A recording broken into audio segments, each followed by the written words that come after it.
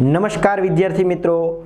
વેદ કેરિયરના digital platform પર હું પરેશ વિરડિયા આપ સર્વે મિત્રોનું હાર્દિક સ્વાગત કરું છું. મિત્રો, આપણે જે સિરીઝ ચાલી રહી છે ડેઇલી ફાઇવ ક્વેશ્ચન એમાં આજે આપણે ભાગ નંબર અડસઠ જોવા જઈ રહ્યા છીએ. તો વાત કરીએ મિત્રો પ્રથમ પ્રશ્નની.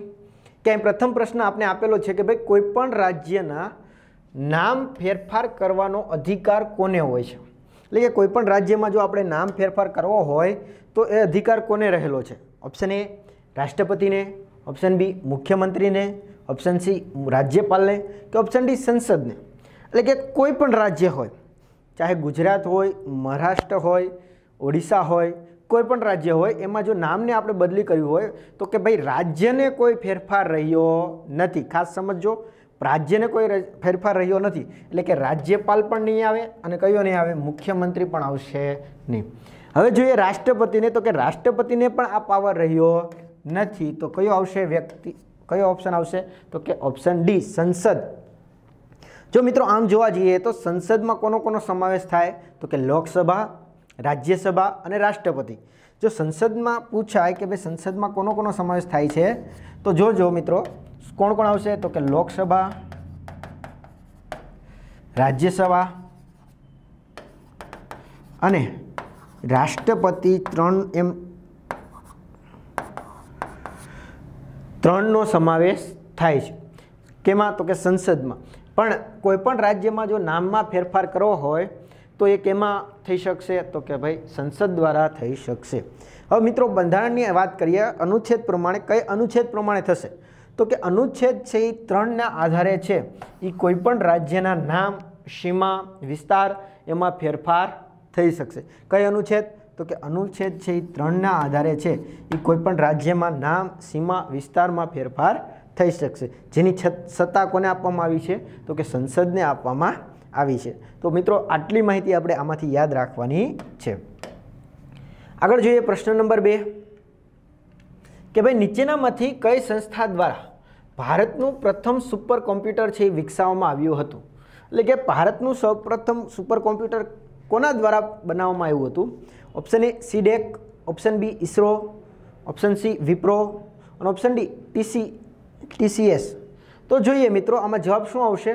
તો કે ભાઈ ઓપ્શન એ આવશે. એટલે કે સીડેક દ્વારા છે એ ભારતનું સૌપ્રથમ સુપર કોમ્પ્યુટર છે એ વિકસાવવામાં આવ્યું હતું. હવે મિત્રો, આ સુપર કોમ્પ્યુટર સૌપ્રથમ ભારતનું કયું છે? એ તમારે કોમેન્ટ બોક્સમાં જણાવવાનું છે. આગળ જોઈએ મિત્રો, પ્રશ્ન નંબર ત્રણ ચાઇના મેન શબ્દ કઈ રમત સાથે સંબંધિત છે? એટલે કે ચાઇના મેન શબ્દ છે, નીચેનામાંથી કઈ રમત સાથે સંબંધિત છે?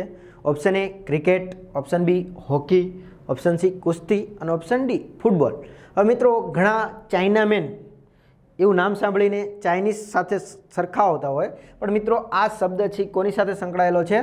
તો કે ઓપ્શન એ ક્રિકેટ સાથે જોડાયેલો છે. કોની સાથે જોડાયેલો છે? તો કે ક્રિકેટ સાથે જોડાયેલો છે. તો આપણે આ માહિતી યાદ રાખીશું. આગળ જોઈએ પ્રશ્ન નંબર ચાર. સોરઠ તારા વહેતા પાણી નવલકથા કયા સાહિત્યકારની છે? એટલે કે સોરઠ તારા વહેતા પાણી એ કોની છે? ઓપ્શન એ ઝવેરચંદ મેઘાણી. Option B Harindra Dave. Option C Umashankar Joshi. અને ઓપ્શન ડી કિશનસિંહ ચાવડા. તો આ મિત્રો સોરઠ તારા વહેતા પાણી એ કૃતિ કોની છે? તો કે ભાઈ ઝવેરચંદ મેઘાણી, કે જેમને ગાંધીજી દ્વારા રાષ્ટ્રીય શાયરનું ઉપનામ આપેલું છે. કયું ઉપનામ આપેલું છે? રાષ્ટ્રીય શાયરનું. એટલે કે ઝવેરચંદ મેઘાણી એવા સૌરાષ્ટ્રના રસધારા લખનાર પણ આના છે. આ ઝવેરચંદ મેઘાણી છે, સોરઠ તેરા વહેતા પાણી એ પણ એમની છે કાળચક્ર, કે જે, જેમની છેલ્લી કૃતિ ગણવામાં આવે છે. એટલે કે કાળચક્ર પણ આપણે યાદ રાખીશું. અને મિત્રો, આ ઝવેરચંદ મેઘાણી છે એમને સાહિત્ય ક્ષેત્રે ઘણું બધું યોગદાન પણ આપેલું છે અને એમની સંપૂર્ણ વીડિયો છે એ આપણે ચાર ભાગમાં બનાવેલા છે. તો તમે ગુજરાતી સાહિત્યના પ્લેલિસ્ટમાં જઈને આ ઝવેરચંદ મેઘાણીની સંપૂર્ણ માહિતી ત્યાંથી મેળવી શકો છો. વાત કરીએ હરિન્દ્ર દવે, એમની એક પંક્તિ છે ખૂબ જ જાણીતી છે અને અવારનવાર આપને પૂછાય છે. કઈ? તો કે પાન લીલું જોયું ને તમે યાદ આવ્યા. એ કૃતિ કોની છે? તો કે હરિન્દ્ર દવેની છે. આ સિવાય કિશનસિંહ ચાવડા કે જેમનું ઉપનામ છે કયું છે? જીપ્સી. કયા ઉપનામથી ઓળખાય છે? જીપ્સીના ઉપનામથી ઓળખાય છે. અને ઉમાશંકર જોશી. એટલે કે ઉમાશંકર જેઠાલાલ જોશી. જેમાં, જેમનું પણ સાહિત્ય ક્ષેત્રે ખૂબ જ યોગદાન ગણી શકાય. અને સાહિત્યમાં એમણે ઘણા બધા કામ, રચનાઓ પણ કરી છે. અને આમના માટે જ એમને ગુજરાત સરકાર સાથે ભારત સરકારનો પણ ખૂબ જ મહત્ત્વનો અને સાહિત્યનો સર્વોચ્ચ પુરસ્કાર.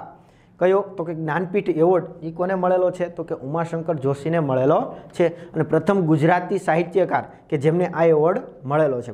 હવે આ જ્ઞાનપીઠ એવોર્ડ અને કયા કયા ગુજરાતી સાહિત્યકારોને છે એ આ એવોર્ડ મળ્યા હતા એમની ચર્ચા પણ આપણે આગળના વિડીયોમાં કરી ચૂક્યા છીએ. તો ત્યાંથી તમે સંપૂર્ણ માહિતી ત્યાંથી મેળવી શકશો. આગળ જોઈએ મિત્રો પ્રશ્ન નંબર પાંચ. વર્તમાન લોકસભા કેટલામી લોકસભા છે? એટલે કે હાલમાં જે લોકસભા છે એ કેટલામી લોકસભા છે? ઓપ્શન એ ચૌદમી ઓપ્શન બી સોળમી ઓપ્શન સી પંદરમી કે ઓપ્શન ડી સત્તરમી? એટલે કે જે હાલમાં લોકસભા છે એ કેટલામી છે મિત્રો? તો કે ભાઈ ઓપ્શન ડી સત્તરમી લોકસભા છે. કેટલામી છે? સત્તરમી લોકસભા છે. હવે આ લોકસભાના અધ્યક્ષ કોણ છે હાલમાં? તો કે ઓમ બિરલા. કોણ છે? તો કે ઓમ બિરલા એમના લોકસભાના અધ્યક્ષ છે. જેમણે હાલમાં કયો એક મહત્વની સુધારો કર્યો એમ કહી શકાય? તો કે શૂન્યકાળ. એમને શું કરી દીધો? તો કે રદ કરી દેવામાં આવ્યો. હવે મિત્રો, સંસદની કાર્યવાહી શરૂ થાય, એમાં બે સમયગાળો આવે. એક તો શૂન્યકાળ અને બીજો પ્રશ્નકાળ. હવે પ્રશ્નકાળમાંથી અલગ અલગ પ્રશ્ન, પ્રકારના પ્રશ્ન પૂછવાના આવતા હોય છે. તારાંકિત પ્રશ્ન, અતારાંકિત પ્રશ્ન, મૌખિક પ્રશ્નો. હવે શૂન્યકાળ છે મિત્રો, એ ભારતની દેન હતી. વિશ્વને સૌથી ભાર કોઈ આપેલી હોય વસ્તુ, તો કે ભારતે છે એ વિશ્વને શૂન્યકાળ આપેલો હતો.